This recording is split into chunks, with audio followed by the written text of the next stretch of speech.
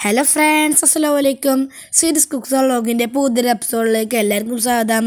അപ്പോൾ ഞാനിപ്പോൾ ഉള്ളത് എന്റെ സ്വന്തം സ്കൂളായ ജിയാജസ് വിളയറിലാണ് കേരള സർക്കാർ വിദ്യ വിദ്യാകരണ പദ്ധതി അതായത് കിഫ്ബി ഫണ്ട് ഉപയോഗിച്ച് നിർമ്മിച്ച ഒരു കോടി രൂപയുടെ മൂന്നില കെട്ടിടം ഉദ്ഘാടനം ജനുവരി ജനുവരി പന്ത്രണ്ട് അതായത് നാളെ വ്യാഴാഴ്ച വൈകിട്ട് മൂന്നിന് ഉദ്ഘാടനം ചെയ്യുന്നുണ്ട്.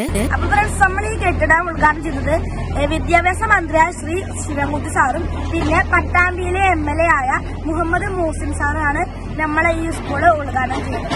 അപ്പോൾ നാളെ ഉദ്ഘാടനം ചെയ്യാൻ പോകുന്ന പുതിയ കെട്ടിടത്തിന്റെ ക്ലാസ് റൂമുകളും എല്ലാം ഞാൻ കാണിച്ചാ കേട്ടോ.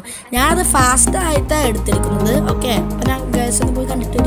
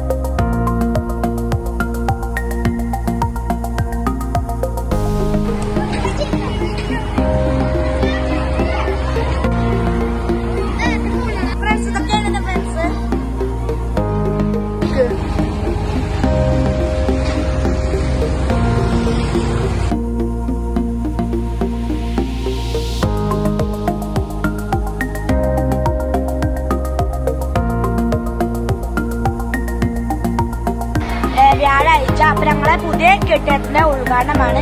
ഭൂരിഭാഗം എല്ലാവർക്കും ഇതിലറിയാം നമ്മുടെ സ്കൂളിലെ വിദ്യാർത്ഥികളും എല്ലാവരും അവരുടെ രക്ഷിതാക്കളോട് പറഞ്ഞിട്ട് ഉണ്ടാവും ഓക്കെ